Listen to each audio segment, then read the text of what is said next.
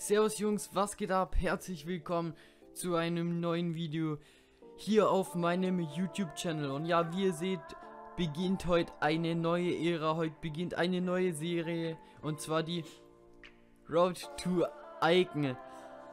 Ja, Jungs, wir machen das nicht so strikt und nach keinem Konzept. Ich habe mir da jetzt nichts abgeschaut von irgendjemand, falls diese Serie schon auf YouTube ähm, irgendwie existiert.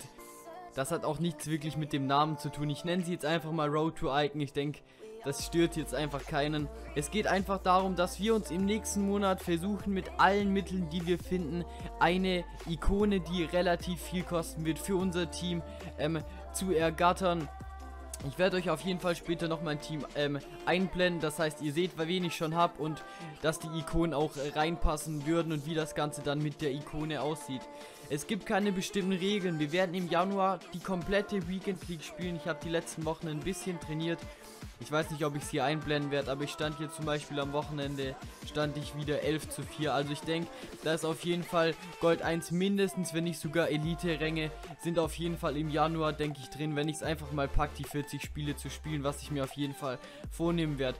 Äh, zudem gibt es auch vielleicht noch ein paar Trading-Videos, wo ihr dann genau meinen Coinstand seht und wir auch genau darauf aufpassen, dass es nur für die Ikone ist und dass wir am Ende dann uns die Ikone wirklich leisten können. Pack-Openings wird es auch geben, allerdings äh, dürft ihr dann nicht erwarten, dass ich da jetzt mehrere hundert Euro da reinballer, sondern dass ihr dann ähm, von SPCs oder so einfach mal die Lösung plus die Videos, also beziehungsweise die Packs dann als Videos kommen. Wir haben natürlich ein großes Ziel und das ist eine Ikone zu erspielen. Wie ihr schon im Hintergrund seht, haben wir den Petit, den Hernandez, Kloiver und Bergkamp. Ich werde euch jetzt jede Ikone einzeln vorstellen und ein paar Worte dazu sagen. Und am Ende seid dann ihr dran, in den Kommentaren abzustimmen, welche von diesen vier krassen Ikonen unser Ziel von Januar, unser Ziel von dieser Road to Icon sein soll. Beginnen wollen wir mit Emmanuel Petit, der Franzose. 90, 90 geratete Prime Icon Version. Nicht den 85er, nicht den 88er, sondern den 90er, die Prime Icon. Die kostet momentan 1,3 äh, Millionen ungefähr, 1,2 Millionen wenn wir die kaufen. Allerdings würde ich sagen, wir machen definitiv die Prime Icon, weil die nur eine Million kostet. Wir viele Untrade-Spieler natürlich auch absenden können. Und ich denke, dass ich keinen besseren als Emanuel Petit da im Mittelfeld finden werde. Ich kann mir einfach kein Kullet leisten. Und Petit hat schon extrem krasse Werte. Schauen wir mal kurz auf seine Werte. Wir haben hier ein Tempo von 77 Sprint Speed natürlich, ja. Schweres Wort von 76 und ich denke auf jeden Fall, wenn wir den defensiv spielen lassen, bekommt er einen Shadow und dann sieht das Ganze ähm, schon mal ein bisschen anders aus. Moment, Shadow draufgepackt und was sehen wir da? Er hat einen Tempowert von 89. Er hat dann eine Beschleunigung von 93 und eine Sprintgeschwindigkeit von 86 und das ist mal ultra heftig. Schauen wir auf sein Shooting, das ist auch krass. Der Typ hat 90 Longshot, ohne dass wir diesen Wert pushen. Das heißt, wenn der mal aus der zweiten Reihe abzieht, ist das auch absolut kein Wunder, wenn der mal reingeht. Passwerte sind definitiv auch stark für einen Sechser. Weil ich denke, Sechser ist einfach die beste Position für ihn. Aber er geht auch als ganz normaler Allrounder im zentralen Mittelfeld. Das kommt eben auf die Formation an, ob wir den eher defensiv oder dann eher so als Achter spielen lassen. Dribbling ist auch in Ordnung für 78, für so einen absoluten Abräumer. Ist definitiv okay. Und wenn wir jetzt mal kurz die Verteidigungswerte anschauen, er hat einfach fast überall 99 beim Tackeln. Also, ja, wenn wir das pushen, das ist fast unnötig, den zu pushen, weil er sowieso schon absolut krank ist. Wenn wir hier die ähm, Körperwerte mal anschauen, hier, das ist auch krass. Der hat einen Körper von 88, Ausdauer von, 3, äh, von Jahr von 93, das ist auf jeden Fall auch stark. Springen muss er nicht so hoch, er ist 1,78, von dem her auf jeden Fall im Vergleich zum Beispiel zu Lothar Matthäus oder so, ähm, auf jeden Fall groß genug, Weakfoot 3 Sterne ist okay. 3 Sterne Skills, da kann er mal hier einen, einen ganz normalen Trick Skill Move hier raushauen, aber als 6er braucht er das eigentlich nicht. Die Work Rates sind auch absolut perfekt. High, high.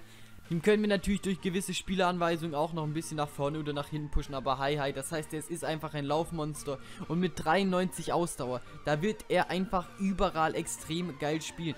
Wenn wir hier kurz die Ingame-Werte von Foodbin anschauen, wie gesagt, ihr seht ja alles hier, Foodbin könnt, kann ich euch auf jeden Fall empfehlen, überhaupt keine bezahlte Partnerschaft. Also dies ist auf jeden Fall die Seite, werdet ihr sowieso alle kennen. Innenverteidiger hat den 94er Rating, das kann ich mir schon gut vorstellen, dass der absolut krank da spielt, aber der ist halt einfach zu gute Werte, dass man den in die Innenverteidigung packt. Ansonsten hier als defensiver Mittelfeldspieler ist er überhaupt der Beste, würde ich mal sagen, weil er auch nach vorne mitarbeiten kann und selbst im Sturm hätte der hier einen 83er Rating, weil er einfach auch noch einen starken Abschluss hat. Longshots vor allem, denke ich, ist er auch overpowered. Und das war's hier auch mein Wort zu Prime Icon Petit. Und wir schauen weiter zur nächsten Ikone. Und das ist der Luis Stürmband Hernandez. Ihr werdet ihn wahrscheinlich von Fatal, von Benji schon ähm, äh, kennen und auch schon sehen, dass er extrem stark spielt. Er kostet ungefähr 1,15 Millionen, wenn wir ihn kaufen. Auch hier werden wir die Prime-Icon machen. Am Ende seht ihr auch, was die alle kosten.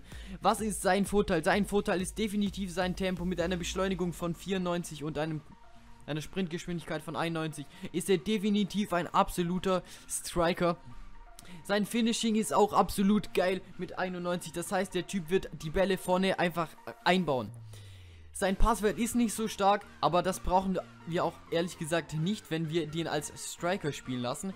Dribbling ist absolut stark, das können wir auch noch ein bisschen pushen, genauso wie sein Schuss und seine Physik. Ich weiß nicht, was wir da für einen Chemistry-Style hier ähm, draufpacken, ob das dann Hawk ist oder vielleicht auch dieser... Machen wir den denn? Marksman, das könnte ich mir auch gut vorstellen, dass die Physikwerte einfach noch ein bisschen gepusht werden, weil Tempo braucht ihr einfach nicht mehr. Und das sieht dann schon extrem geil aus. Wenn wir hier noch sein, zum Beispiel seine Jumping-Werte angucken, also wie hoch der springt. Das ist jetzt ungepusht bei 89, glaube ich. Der schlechtestenfalls. Was ist denn das? Ja, das sehe ich sehen wir jetzt nicht, aber ist egal.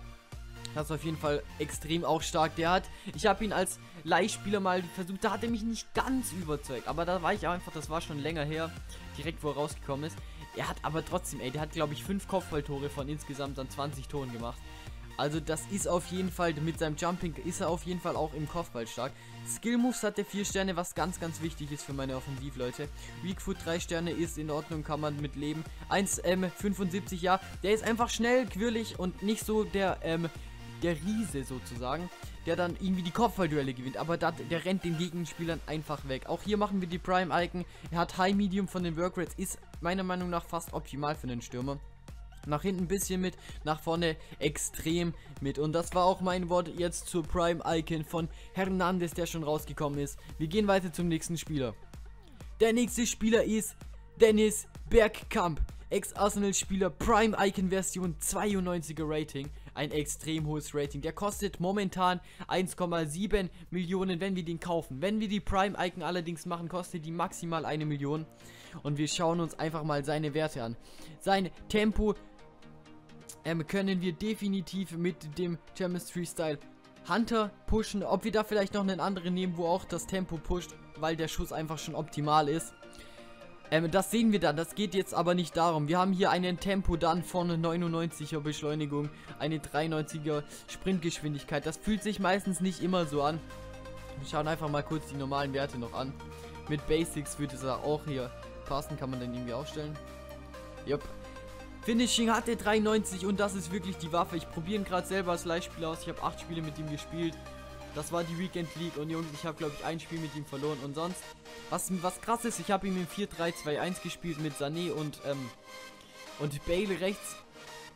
Der Typ hat einfach mehr Vorlagen als Tore geschossen. Ich weiß nicht an was das liegt. Der hat einen absolut krassen Passwert und hat irgendwie so diese Fähigkeit, auch einen Sané, der schießt einfach in der Weekend League da mal kurz einen Hattrick und alle Tore vorbereitet von Bergkamp. Ich weiß nicht an was das liegt, vielleicht an meinem Spielstil. Auf jeden Fall hat er einen absolut fetten Schuss. Er hat krasse Passwerte, krasse Dribblingwerte. Physics ist so, naja, da kann man vielleicht noch was pushen mit diesen 78 Physics hier. Mit seinem Körper, die Ausdauer ist mit 82 übrigens auch vollkommen in Ordnung. Da kann man vielleicht den Körper noch ein bisschen pushen. Er ist jetzt so 1,83 groß. hat Medium Medium Work Rates, das ist okay. Ich denke, ich fand, es hat nicht gestört. Also Medium Medium war echt okay. Nach vorne war er trotzdem immer da und nach hinten hat er trotzdem, sagen wir so, einfach die Bälle abgeholt, obwohl ich Abwehr überlaufen hatte. Das fand ich eigentlich ganz nice, weil er die Bälle dann einfach verteilt hat. Vier Sterne Weak Food, vier Sterne Skills, perfekt.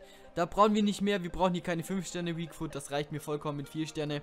Der hat sowieso einen Krankenschuss, 4 Sterne Skills, extrem wichtig für den Stürmer, wie schon gesagt. Ansonsten, ja, ich denke, ich würde ihn definitiv als Striker spielen lassen. Am Ende wird auch noch mein Team eingeblendet. Und ja, ansonsten haben wir das hier schon relativ ja, ausführlich erklärt die Prime-Icon von Bergkamp. Ihr seht ja selber die Werte, könnt euch selber eine Meinung darüber bilden. Der nächste Spieler ist keine Prime-Icon. Die Prime-Icon von Patrick Kluivert ist noch nicht draußen. Da können wir die noch nicht machen. Ich rechne aber allerdings damit, dass die extrem teuer wird, weil die absolut fette Werte hat. Wir schauen uns den 88er an. Mit 650k wäre die definitiv die billigste Ikone, die es gibt. Das heißt einfach, ja, der ist auf jeden Fall von der Preis-Leistung, kann man den auch mal betrachten. Wenn die Prime-Icon rauskommt, können wir definitiv vielleicht auch eine Road to Prime-Icon dann raushauen. Wenn ihr euch für den Spieler entscheidet, schauen wir seine Werte an. Er hat ein, eine Sprintgeschwindigkeit äh, von 86, eine Beschleunigung von 86, liegt damit auf jeden Fall höher als Bergkamp und natürlich niedriger als Hernandez. Dafür hat er einen Schuss, der ist so durchschnittlich mit 86 Finishing. Denke ich, man kann dem definitiv den Hunter geben und mit Hunter rasiert er definitiv noch viel, viel mehr. Schaut euch das mal an. Wir haben hier die das ist absolut krass. Also meine Meinung, ich hätte ihn auch nicht reingenommen, wenn ich nicht so überzeugt gewesen wäre von dem. Ich habe ihn mir leider noch nicht geholt. Aber ich finde, er ist einfach die einzigste Ikone, die, also mit die einzigste Ikone, die nicht so viel kostet und die einfach absolut krass ist. Wenn ich den mit Bergkampf vergleiche, sehe ich da fast kein... Der Schuss ist natürlich klar, aber ihr müsst mal schauen, der kostet fast die Hälfte nur. Naja, wir gehen weiter mal in den Werten. Wir haben hier einen Finishing von 86, das ist wie gesagt in Ordnung. Passwerte sind mit fast 80 auch definitiv in Ordnung als Striker. Dribbling ist vielleicht nicht so das höchste. Da müssen wir auf jeden Fall vielleicht beim Chemistry 2 schauen, ob wir vielleicht doch noch das Dribbling irgendwie nach oben pushen können. Physics, er hat auf jeden Fall einen äh, stärkeren Körper als Bergkamp, würde ich mal sagen. Er ist auch, wie wir hier sehen, 1,88 groß. Das heißt, er ist ein Tick größer und ist einfach ein bisschen ein bulligerer Stürmer, obwohl er schneller ist. Er hat einen definitiv schlechteren Schuss als Bergkamp, hat, ist allerdings schneller, körperstarker und auch größer. Er hat 4 Sterne, 4 Sterne, genauso wie Bergkamp, ist stark, ähm, hat allerdings High Low Work Rates. Das heißt, er wird nach hinten eher weniger sein, was allerdings, denke ich, kein Problem sein wird, wenn er extrem viel nach vorne mitarbeitet, weil er eben dieser Strafraumstürmer ist, der die Dinger einfach reinballert. Ja, ich weiß nicht, was ich noch dazu sagen soll. Ihr seht ja selber die Werte und ich denke, das habe ich auch jetzt relativ ausführlich erklärt. Ich sage euch jetzt nicht viel dazu, ähm, wen ihr nehmen könnt. Wir schauen nochmal kurz auf die Übersicht. Hier haben wir die Übersicht von unseren Icons, die zur Wahl stehen. Wir haben den Petit, der ungefähr eine Million alt... Entschuldigung als Prime-Icon kosten wird. Dann haben wir den Hernandez, der ungefähr 800k als Prime-Icon kosten wird. Dann haben wir den Kluivert, der Trade-Able wäre und wir auch dahin auf die Prime-Icon dann vielleicht hinarbeiten könnten, die was weiß ich wann kommt, ne? 640k für ihn und Bergkamp kostet genauso viel wie Petit.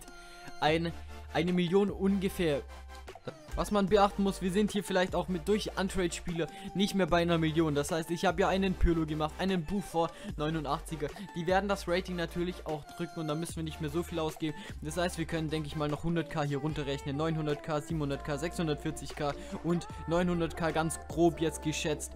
Road to Icon, entweder den absolut bulligen und krassen Allrounder Petit, den schnellen, quirligen Hernandez oder den absolut starken, offensiven Allrounder, also nicht Allrounder, aber der Typ ist schnell und ist abschlussstark. Gefällt mir auf jeden Fall sehr gut, der Patrick äh. Wo wir auf die Prime-Icon hinarbeiten können und ihn dann theoretisch auch wieder verkaufen können. Oder die letzte Prime-Icon, Berg kam noch nicht so lange draußen.